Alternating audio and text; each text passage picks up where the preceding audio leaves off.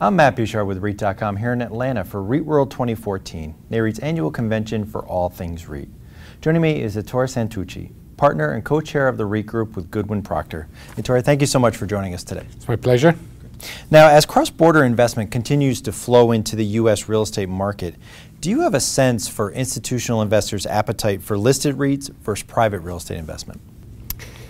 Well, th there is an enormous amount of flow of capital from overseas. And most of it um, is what I would uh, call very technically big game hunting. Uh, we just did, for example, for one of our clients, um, Boston Properties, a big joint venture with Norges Bank. And, um, you know, it's the kind of capital that doesn't come across every day. It's billions of dollars of real estate in trophy CBD assets. So you would expect that capital to flock to the major platforms and to be negotiated, um, you know, 45, 55 joint ventures. Um, so that kind of capital, I think, is um, is likely going to continue to go direct, uh, or at least uh, uh, one-off. Uh, but there is a lot more capital internationally that's looking to uh, institutional real estate. I, I, was in Europe two weeks ago, and everybody's looking for essentially institutional quality commercial real estate. Uh, they're looking for you know stabilized, diversified institutional assets in gateway cities or major cities. Uh, the problem is that there isn't any. Now, now, what is it about listed REITs that that that could attract this institutional capital?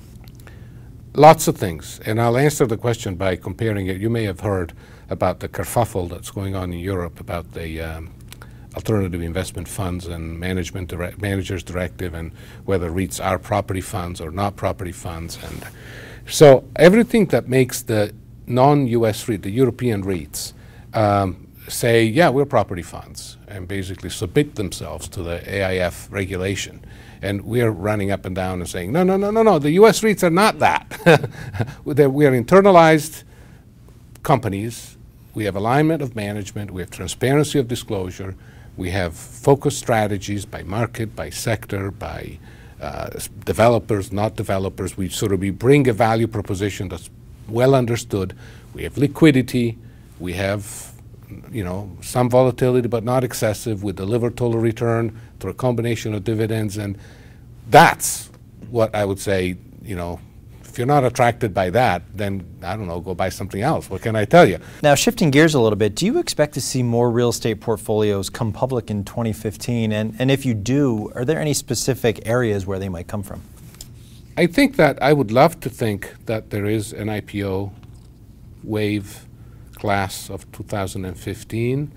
Um, the problem is that you will hear from most dedicated investors that the only reason why the market needs another REIT IPO is either because it's very, very cheap compared to comparables or because it's a unique story that nobody's ever heard before.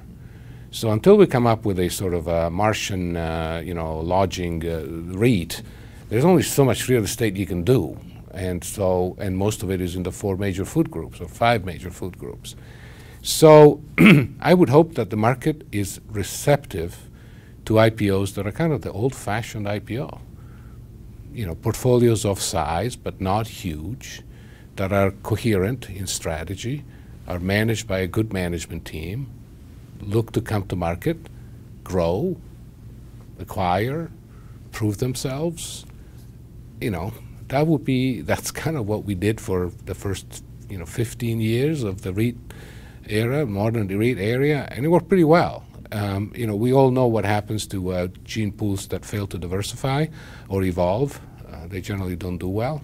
And so I think we should look at the REIT industry today as a gene pool that continues to be in need of refreshing and in need of renewal. And, and their IPOs are supposed to deliver that.